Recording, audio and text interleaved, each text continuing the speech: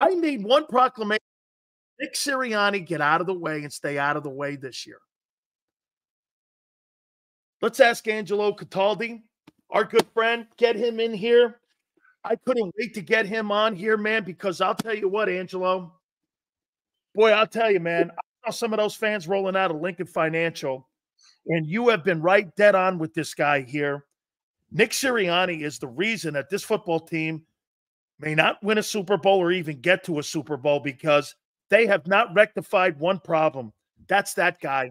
That is the worst coach since Rich Kotite.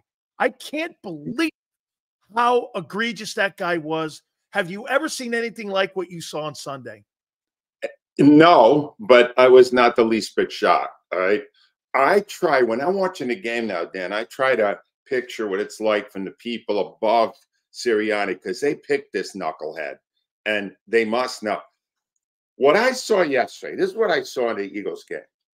I saw more amazing athletic plays by the Philadelphia Eagles in that game than I've ever seen in any game. And I've been here 40 years. I've never seen a better, more athletic game. From the DeVonta Smith catch in the back of the end zone with one hand to the uh, uh, what's his name? Uh, the new kid, the kid they just got from uh, Washington.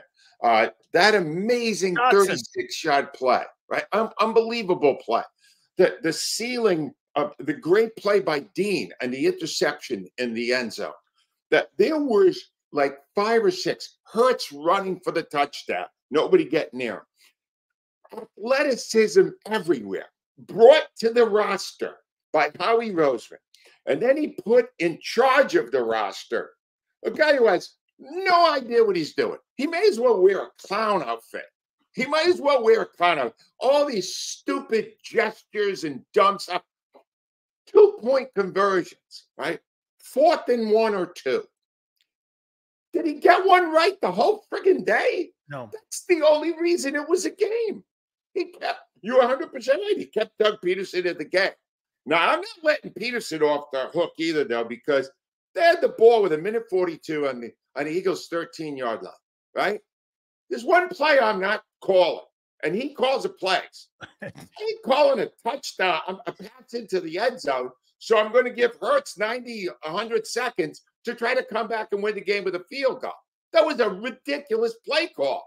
So again, Sirianni at six and two lucks out again because the athleticism of his players and his dumb mistakes get hidden by the fact they won a game.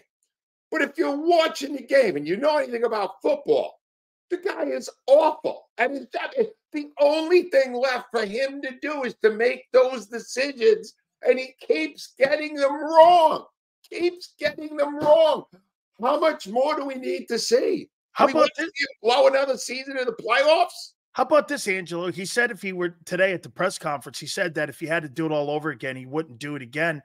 And I say this, well, that's going to be your undoing. Is that this guy's now, now, Angelo, help me out here. Is that the front office though, with their analytics doing this, or is that Nick trying to elbow his way in to having a type of job? Because we all know, I mean, Kellen did it. Think about what you said. Kellen did his job by putting the team in position to put points on the board. Here you got a guy parachuting in, undermining that and taking the points away. The coordinator on the other side is making the defense better the one guy who's getting in the way here is is this really just Nick doing this, or do you think he's being coached by the upper management that they want to always be aggressive? I don't mind being aggressive, but I mind being reckless. Here's the thing, Dan. All right. Yes, he has analytics guidance that he's used. But yesterday, for example, the analytics guidance was based on the fact that nobody's been able to stop the tush push. Doug Pederson figured out how to do it. Two two tiers. Bottom tier cuts out the, the, the Eagles line. Second tier smushes him back when he come when when Hurts comes over the line. That was the plan, and it worked better than anybody else and what they've done. When you see that they have figured that out, by the second time you've seen it, you don't do it anymore. so what? There was a penalty on an extra point. So now you only got a yard to do don't just robotically say, well, then we'll just do the tush push when you already know it isn't working anymore.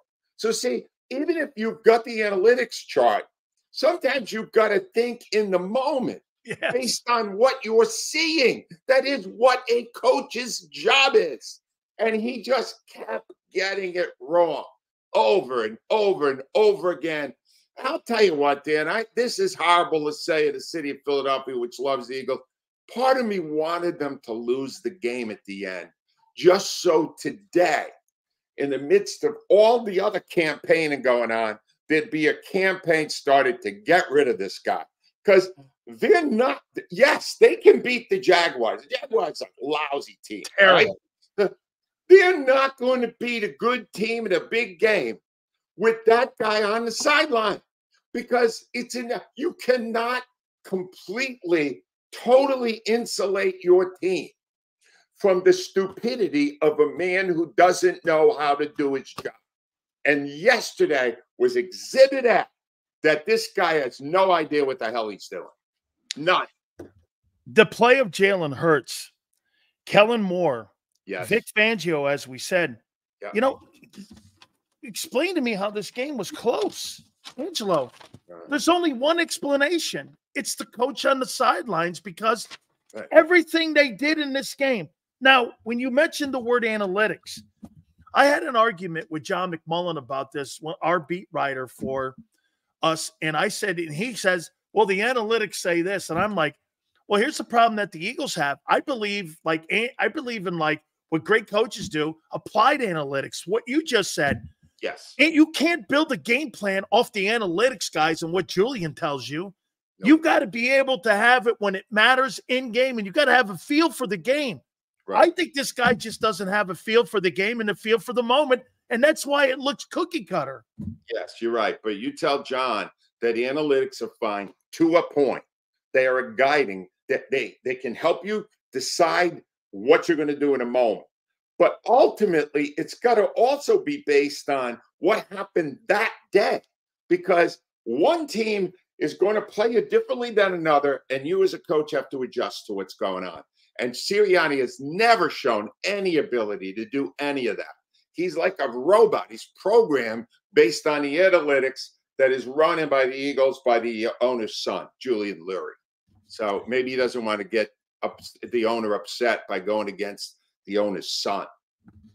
The last four games have a combined record of nine and 22. Is it fool's gold? Or are you seeing again? And now they're going to get a break. Dak's not going to be on the field this coming weekend for the right. Cowboys. So you're going to get Cooper Rush in the building there. Then you right. get Washington and Baltimore and a couple more good teams on the flip side of that. But we're seeing them, and people are getting excited again because it is four in a row. Hurts hasn't turned the ball over. He looks a little bit like 22 again. But I'm trying.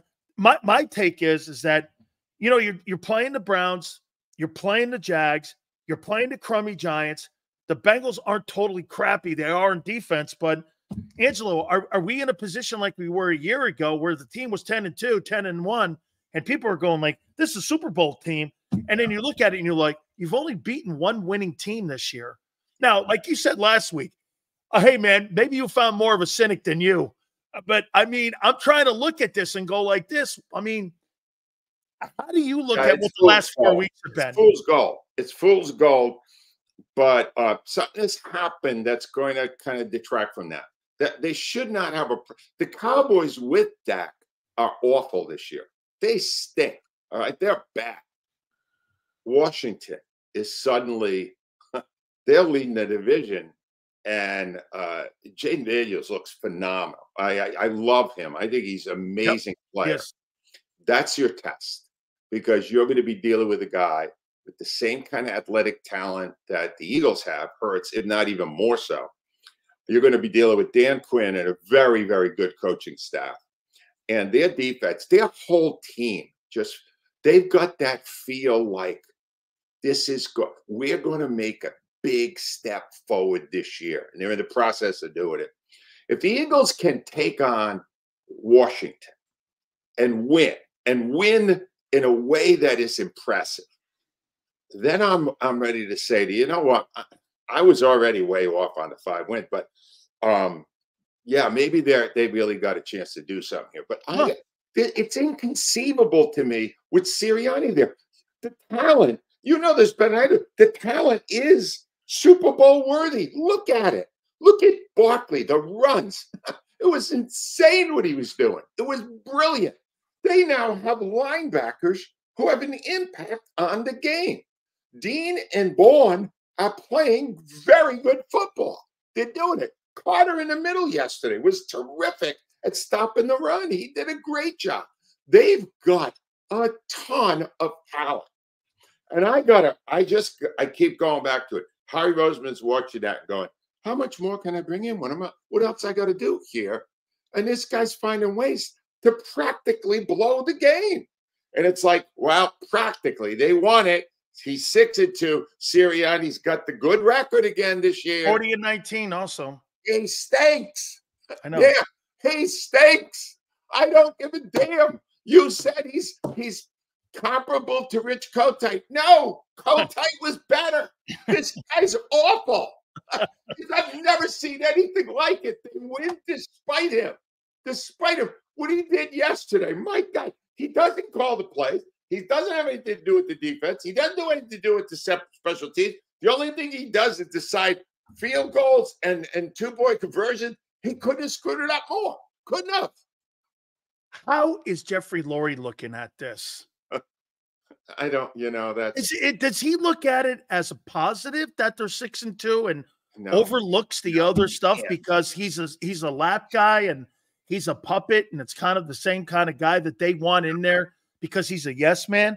Or do they really? I mean, if Doug Pederson was being questioned for a win against Green Bay on a Monday, do they question the decisions that were made Sunday by Nick, or are Wow. they are they more in line with the kind of coach Nick is for what they're looking for? How do you think they look at this? I, I think now a, a day like yesterday definitely moves moves things. It, it Huh. changes uh, minds because you see when the game is going on, they're experiencing the way we are. They're watching the game. They're scratching their head. They're going by the third time he tries these stupid two point conversions when they were up. They would have been up 17 Yeah. if they got a, a field goal. And they went out on the field to try to convert a fourth and three. All right. That's just stupid. You understand? There's not and and even the announcers who never challenge anything coaches do. The announcers are going, wouldn't you want to be up more than two scores? Hey, you got a field goal kicker. He hit that with his eyes closed. Why are you not taking the three points and going up more than two scores? Yeah, they're experiencing that the way we are. And and Lurie now has got to be saying to himself, listen, come on. Uh, it's one thing to look at 40 and 19, and it's another thing to look at the games as they happen. And uh, I I know one thing. All right. I know the volume of email I get, and I know what the fans are saying to that. And and in the words of um, the Sopranos and Tony Soprano, Nick Sirianni is dead to them. All right. He's- Wow. He's dead to them. Do you understand? Yeah. They don't even want to see him next week. And he's six and two. Because the guy clearly is clueless. Ah, I mean, next level clueless. Ano- a whole nother level of stupidity was added yesterday. Angelo, help me on that. You're 40 and 19, you're 6 and 2, and the fan base hates you. Hates How's that possible? Oh, it's simple. All right. A, his sideline demeanor, which is embarrassing, was again yesterday because we know he's not doing anything. He's Nothing. down there playing for the cameras. I don't know what the hell he's doing down there. He every time he opens his mouth at a news conference, he makes an ass of himself. Right? That Yeah. doesn't work. He's rolling the kids out after games, which doesn't play well in this city at all. And frankly, the more you hear him talk and the more you see him coach, the clearer it is that he's clueless. They're not dumb in this city. They see his incompetence. And here they are at six and two. And if you saw my email today, I'm talking hundreds. He's dead to them. They don't want him here. They don't want him one more week. Wow. That is an indictment for sure on the head coach of the Philadelphia Eagles. I was wondering, Angelo, who had a worse weekend, James Franklin or Sirianni? I was just, I, I mean, both those guys there, man. I mean, one guy going after people in the stands right. too. And I'm like, both these guys, man. I mean, I have the answer to that question. The answer is Joel Embiid. All right. That's the answer to the question. Because that guy, I just wrote for my website. I wrote about the game and I wrote about uh, what Embiid did to Marcus Hayes, who I know has been on your show. And um, it's a disgrace. What happened there is is an utter disgrace. And and I blame Embiid because he's a baby. The Sixers because they are an embarrassment in terms of our city and how you conduct yourself at the PR level. An embarrassment. And I, I, I blame everybody associated. I blame the whole Philadelphia media that has reached the point in its softness now where a star player can hold a news conference on Friday and say, I've done so much for this city. How dare you write what Marcus Hayes wrote?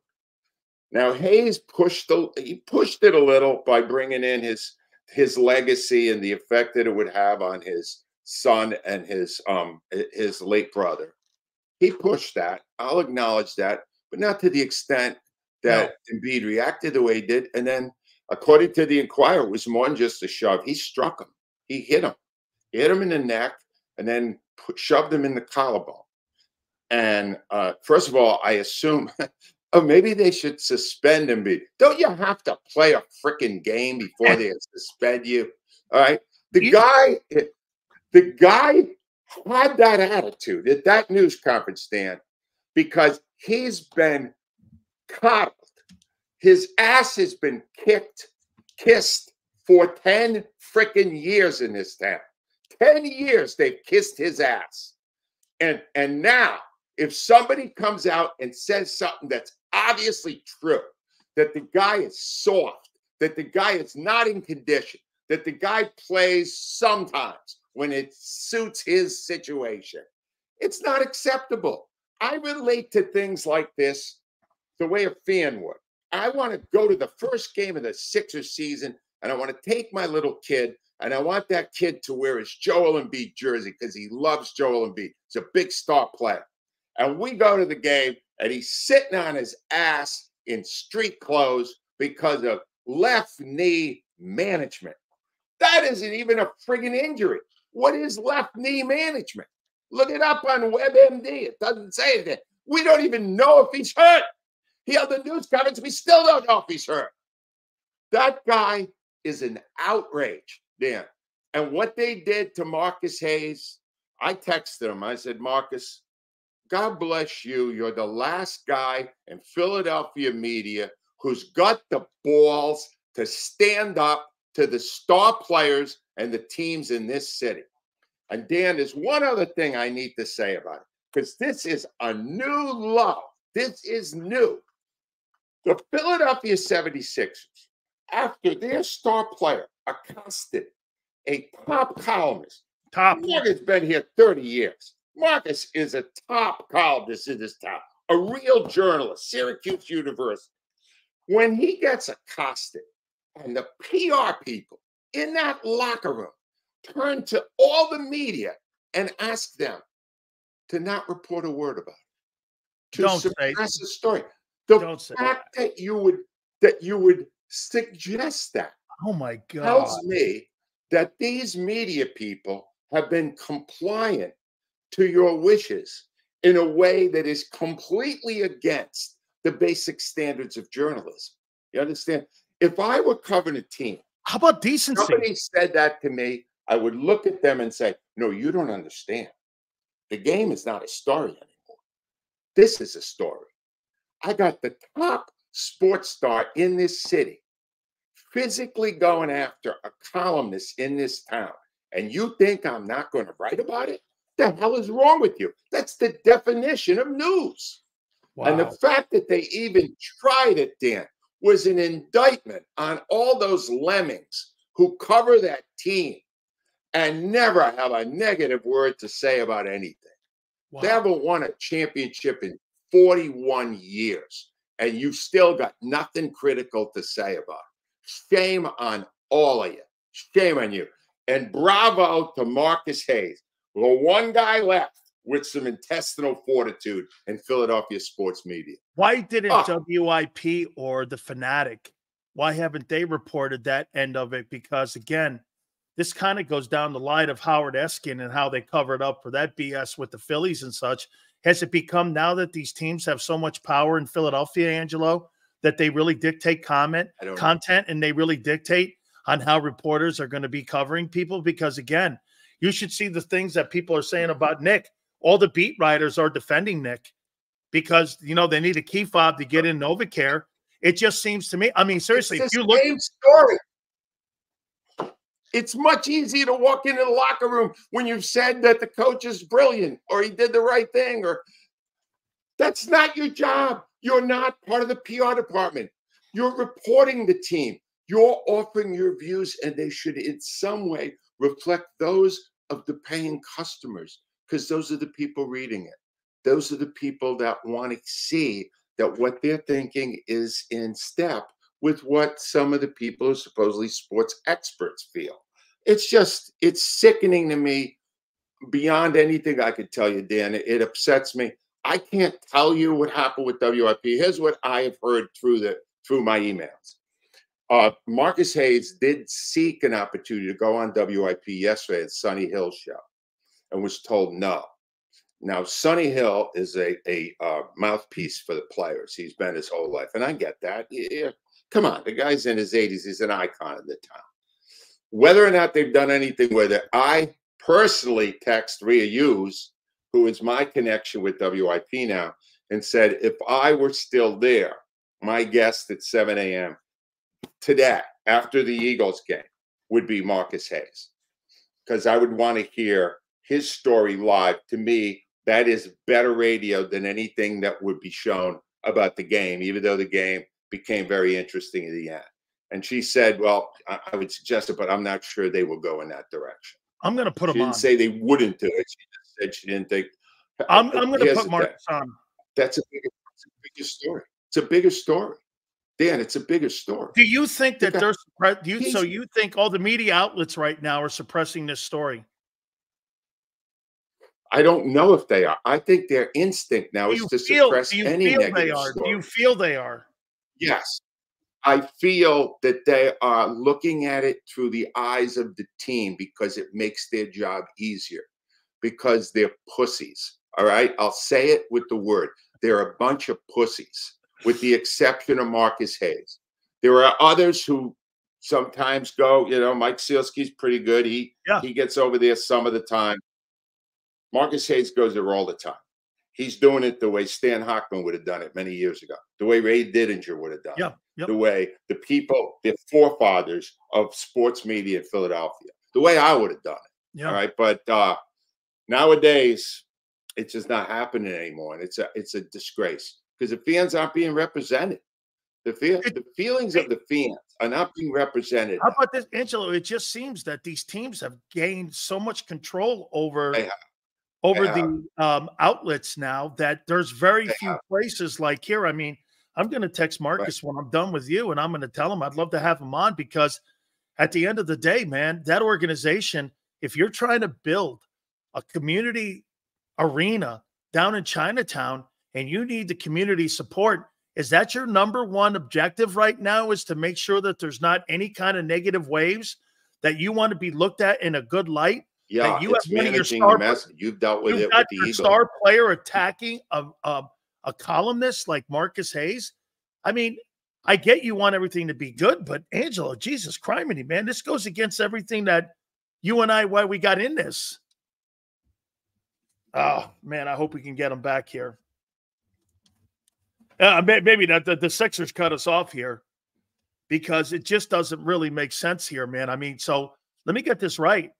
The Philadelphia 76ers, according to Angelo Cataldi, went to the media people in the building there. Let, let, us finish up here with Angelo here. Angelo, last comment. Just to finish the thought there, you you've dealt with it yourself. The Eagles try to manage the message through you. Yep. Uh, clearly, the Sixers do it. They try to suppress a major story uh, about one of their their biggest star uh, going after a media person. Um, I'm sure. I don't know if I, I assume the Phillies are doing it. I don't know that that Howard Eskin story kind of got buried pretty quickly. I I don't know, Dan. I don't know. All I know is this: it's not the way it was done. I still prefer the other way. I prefer the way where you cover a team as an objective source, willing to provide negative insights and reporting when needed. And uh, I don't see hardly any of that anymore. I see very little of that anymore, and it's wow. just it's not the town it used to be. And it's no way. No way. It's te- that's that news there by you is terrible. I mean, it absolutely is. And no wonder that the Eagles can get away with Sirianni now with the assault of Marcus Hayes because I said the same thing. I mean, I don't give a shit what a guy writes. You make $55 million a year. I'm going to walk through that like a box of rocks. I'm not going to care about what a guy writes about me. I'm, I'm I, I make $55 million, and you're telling me that some column bugs you? Dude, I mean, he said, you're in the wrong you know, city. Yeah, I've done so much for this city. Oh God. He's getting 50. I had 51 million. He's getting 50 plus million dollars a year, and he hasn't played a friggin' game. And he's playing victim. He's playing victim, making $50 million a year there. Victim. we, we're all freaking victims. Oh my God. Oh, you're so unfair to me. Where's my money? That was my 50 million. hey, Angelo, did my direct Angelo, did my direct deposit come in? Thank you. I'm so abused. it's unbelievable. This is this only happens when you've been trained to be that cuddle, when you're so cuddled that you could say any anything you want to say, and and they'll report it. And if it's negative, they'll give you the benefit of every doubt. It's awful. It's it's. I may move. I'm thinking of moving. hey, this is no longer Philly. It's Cherry Hill. maybe, maybe I don't know. I'm gonna. I, I may move down to Florida, Danny. That's what I'm doing. Where all the old people go. That's Naples. That's that side of the island over there. Hey, okay. Angelo, um, thank you so Naples. much, man. That was spectacular. I appreciate it. All Anytime, your time and thank you, my friend. Anytime, Dan. You bet. That's our good friend Angelo Cataldi. Let me take a quick time out. I'll tell you what I think of tonight, and we'll follow up on that. Hit the like button. Keep it here, National Football Show. If you missed any of today's show on the JAKIB Media channel, listen to the podcast on your way home. Available on YouTube, Apple, and Spotify.